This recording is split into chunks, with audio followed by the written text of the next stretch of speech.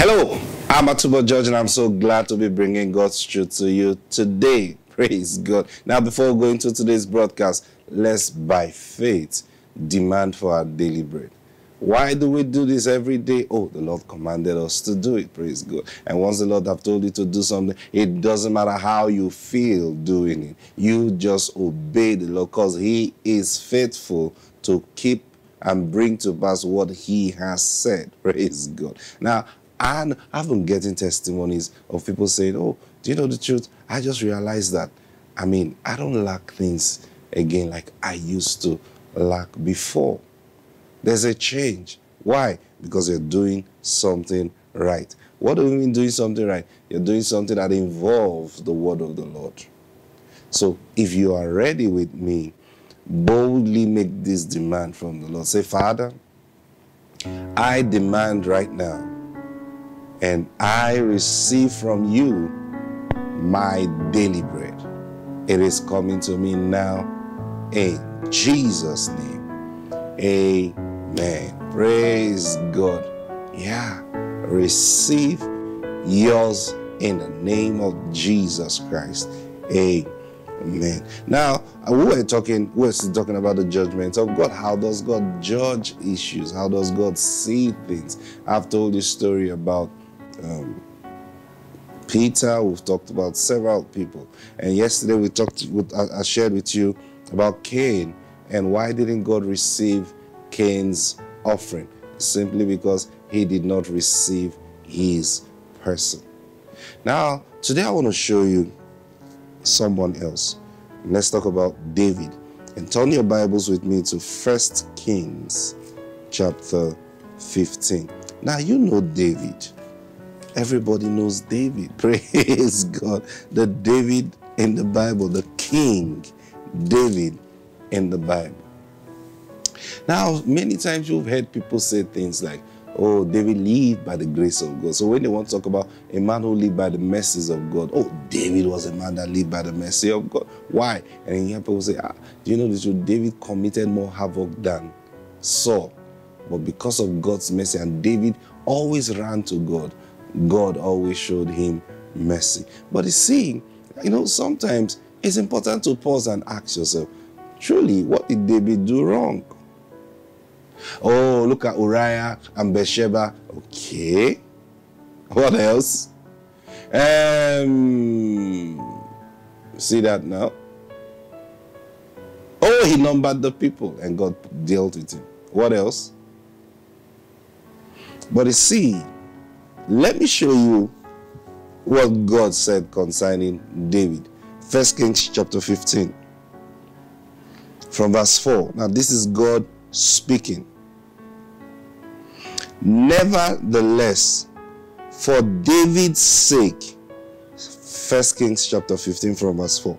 Nevertheless, for David's sake, did the Lord his God give him a lamp in Israel to set up his son after him and to establish Jerusalem. Verse 5 Because David did that which was right in the eyes of the Lord and turned not aside from anything that he commanded him all the days of his life, save only in the matter of Uriah the Hittite.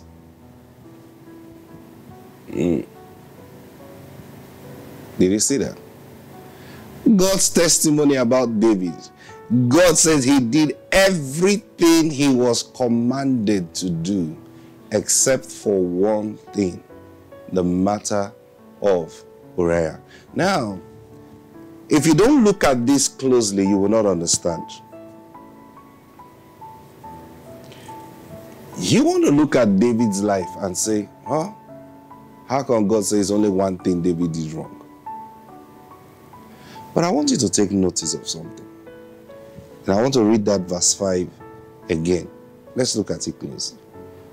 You know, David told his son Solomon, which Solomon wrote in the book of Proverbs, let your eyes observe my sin. Now, that's the problem with a lot of people. Now, of course, I, I, can tell you for a truth, it's not because we're so intelligent, it's because we have the Holy Spirit who is our teacher. See? So when I'm reading the Bible, I'm not reading it, you know, I, love what Smith Wigglesworth said. He said, Some people read the Bible in Hebrew, others read it in Greek, but I read it in the Holy Ghost. Praise God. Yeah, that's the truth. That's the only perfect way to read the Bible. Read it in the Holy Ghost. And reading it in the Holy Ghost doesn't mean you carry the Bible and say, Rokomo, Rokomo. You, you can't be speaking in tongues and be reading and understanding. Praise God. Simply reading in the Holy Ghost means allowing the Holy Spirit to guide you. How do I allow the Holy Spirit to guide me? He says he, he will never leave me. He will never forsake me. So I know I pick up the Bible or whatever I need to do. He's right there with me. So what's he doing there with me? He is there to tell me what to do. Take note of that statement. The Holy Ghost is present in your life to tell you what to do in every situation. So I pick up my Bible and I begin to study, and then I find something I've never seen before.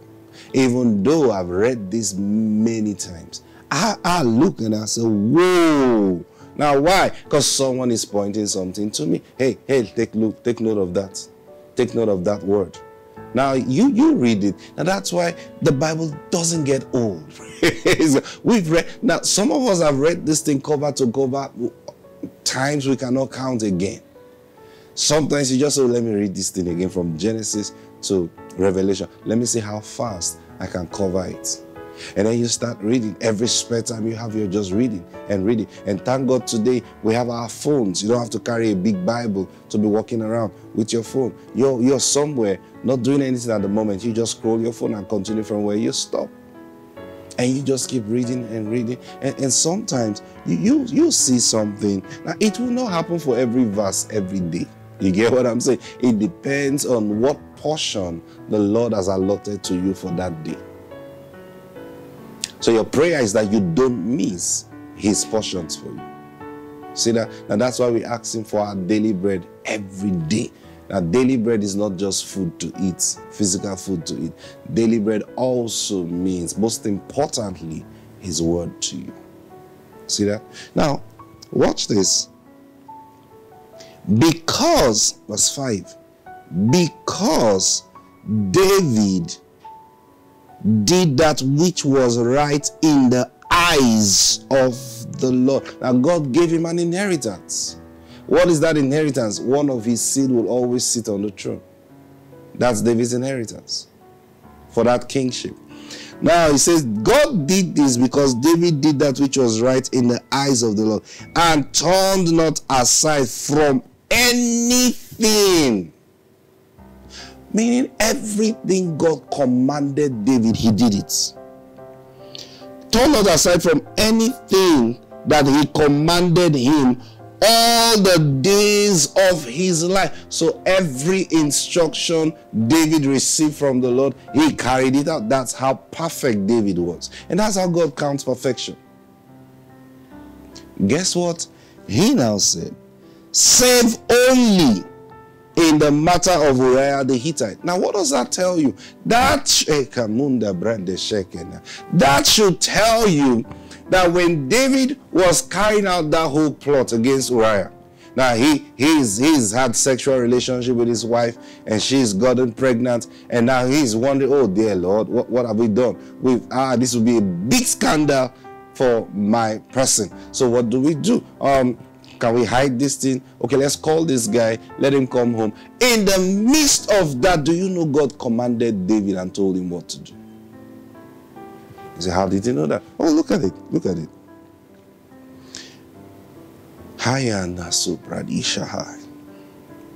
And turn not aside from anything that he commanded him to do all the days of his life, save only in the matter of Uriah the Hittite. So David did not turn away from everything God commanded him to do. The only thing he turned away from from what God commanded him to do was the matter of Uriah. Meaning God had given David command on what to do about that issue. And I'm sure David looked at it and said, nah, ah, I can't do this. Ah, nah, la, la, la, la, I can't do this. Oh, no way. You know, you know, sometimes people do wrong. And they go before the Lord and say, Lord, I have done wrong. How do I come out of this? And the Lord says, go and confess to so and so person. Huh? They will now know, ah, no, no, no, no. Lord, please, uh, I think we should leave it like this. Now, the moment God has given you a command and you don't do it, it counts against you. Now, from the place of understanding concerning David now, we can look at it and say, hey, there is a working instruction David had with the Lord. And that is that he should never use his hand to avenge himself for anything. Yeah. Now, uh, because of time, let me not search the scriptures, but, but I'll tell you this you go look for the story and you find it. You remember Saul when Saul was to kill David. And when Saul was looking for David's life. And then Saul twice was brought into the cave where David's, David and his men were hiding. And he came in there and Saul and his men slept off. And in fact, one of David's men said to him, David, remember the word of the Lord to you, that he will put your enemies into your hands. Here is it. All David needed to do was to take the spear. Now, all of he didn't need to fight anybody. He'll just take that spear. Remember, all his men were sleeping, and David had men that could surround that place. So he he would have just taken the spear and thrust to through Saul. And Saul would have been a dead man. And David's the word of the Lord concerning David about the kingship would have been fulfilled in their thinking. But David said, nah, God forbid that I will sin against God. What did he mean by that? How are we killing your enemy that is looking for your life. Now, while David was there contemplating all those thoughts, you know if Saul had woken up, David himself would have been a dead man. But he said, God forbid, I won't do this sin against God and his anointed. Now, you remember also Nabal, the, the, the husband to Abigail. When David heard that he was about to share some of his stuff, and David sent his, his men, go tell this guy, we protected his, his, his sheep, we protected his things in the forest. We made sure nothing happened to them. So go tell this man that we've been good to him. Please let him be good to us also. And David sent his messenger, and they got there. And the man drove them away. I mean, he told them, go and tell that stupid boy. Think I don't know how he left his master. Very bad boy. Oh, when they brought the news to David, David was angry. He was like, look at this man. Me, I, I, I sacrificed my men to protect his flock. And look at what he will say about me. Ah, David said, guys, let's go. We'll finish that man. He's a stupid man. Because, I mean, he could not simply appreciate what we did for him. Now, they were on their way when Abigail heard the story and quickly gathered everything and went to meet David. Now, one of the things Abigail said to David when she met him was, Look, let my king not do this thing and sin against the Lord. Are you see? And David said, Wow. Now that's one of the reasons David had so much respect for Abigail. He said, Wow, you have just saved me from sinning against the Lord. Now, the sinning against the Lord wouldn't have been to kill, uh, what's his name now? not name, uh, that's Abigail's husband. Sinning against God wouldn't have been to kill him. No. Sinning against God would have been the act of avenging himself because he got angry with this man. And he thought, oh, I'm power, more powerful than you. Let me destroy you. That would have been the sin. And David acknowledged that to Abigail. Said, Thank you very much because you have, by this your action, you have restrained me from sinning against the Lord by avenging myself. Now, you look at that story and look at you will understand that, oh, David had a working command from the Lord never to avenge himself. Now, you find out that in the matter of Uriah, he did not listen nor heed to that command. He went ahead. Now, it's amazing. The Bible didn't say he did everything right in the sight of the Lord except the matter of Bathsheba. He says the matter of Uriah. He was referring to how Uriah was murdered because David went ahead in order to cover his sin. He went ahead to kill Uriah. You know the story. So, in doing that, he went against the command of the Lord, and God held it against him. That's what God held against him. Now, listen. Like I told you this. I told you this yesterday. The attitude that we display in every situation is most mostly what God judges. It's not even the action itself. You see, because before the action is taken, you remember Cain. God said to him before he went ahead to kill Abel, Why is your face down? Why are you angry? And why is your countenance down? Oh, because you accept that God said you should have done what is right. And God even gave him the opportunity. Change.